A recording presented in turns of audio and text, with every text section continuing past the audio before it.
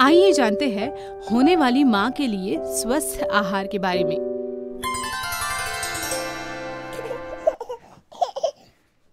आप क्या खाती है और कितनी मात्रा में खाती है? इसका असर आपकी गर्भधारणा की क्षमता पर पड़ सकता है। ये असर सकारात्मक और नकारात्मक दोनों ही तरह का हो सकता है। गर्भ धारणा के लिए आपके शरीर का वज़न सही होना सबसे ज़रूरी है। साथ ही पौष्टिक और संतुलित आहार भी पोषक तत्वों के संग्रहण में मदद करता है, ताकि गर्भावस्था की अच्छी शुरुआत मिल सके। भोजन और प्रजनन क्षमता एक दूसरे से संबंधित है, और ये बात पुरुष और महिला दोनों के लिए लागू होती है। अगर आप और आपके पति स्वस्थ, संतुलित आहार ले तो आपके गर्भधारणा की और आपको एक स्वस्थ शिशु होने की संभावना बढ़ सकती है। अब वास्तव में स्वस्थ आहार है क्या?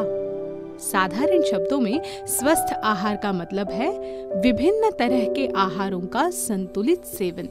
विभिन्न तरह के आहार में अलग अलग तरह के प्रोटीन्स का और विटामिन का समावेश होता है जिनमें फाइबर ज़्यादा होता है ऐसे पदार्थ आपको खाने चाहिए। इसके कुछ विकल्पों में गेहूँ, चावल बिना पॉलिश की जवार बाजरा नाचनी यानी कि रागी, दलिया, ओट्स, अलसी, गेहूँ की चपाती, ब्राउन ब्रेड, इनका समावेश आप कर सकती हो।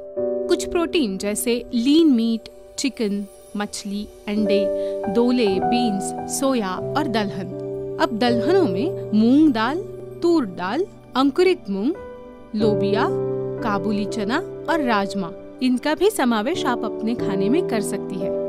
इसके साथ ही आप खा सकती है बादाम, अखरोट, खजूर। आपको रोज़ाना प्रोटीन युक्त आहार लेने का प्रयास करना है। अगर आप मांसाहारी है तो सप्ताह में दो बार मछली का सेवन कर सकती है। कुछ डेयरी उत्पाद, जिनमें कैल्शियम होता है, जैसे कि मलाई रहती है, दूध, दही, छाछ, पनीर, घी, इनका सेवन करना ज़रूरी है। आयन से भरपूर कुछ खाद्य पदार्थ, जैसे मांस, दालें, मेवे, हरी सब्ज़ियाँ, जिनमें मेथी, पालक, सेपू, इनका आप समावेश कर सकती हो। इससे गर्भावस्था के लिए ज़रूरी आयन का संग्रह हो जाता है। आयन से भरपूर भोजन के साथ विटामिन सी युक्त खाद्य पदार्थ या पेय पदार्थ लेने का प्रयास करिए। अब भोजन के साथ नींबू पानी, संतरा जूस मौसम्बी या आंवला जूस भी ले सकती है। इनमें मौजूद विटामिन सी शरीर में आयन के बेहतर शोषण में मदद करता है। और एक बहुत ज़रूरी बात, आपको दिन में तीन लीटर पानी पीना है, ताकि शरीर की शुद्धि हो पाए और पाचन में मदद हो सके।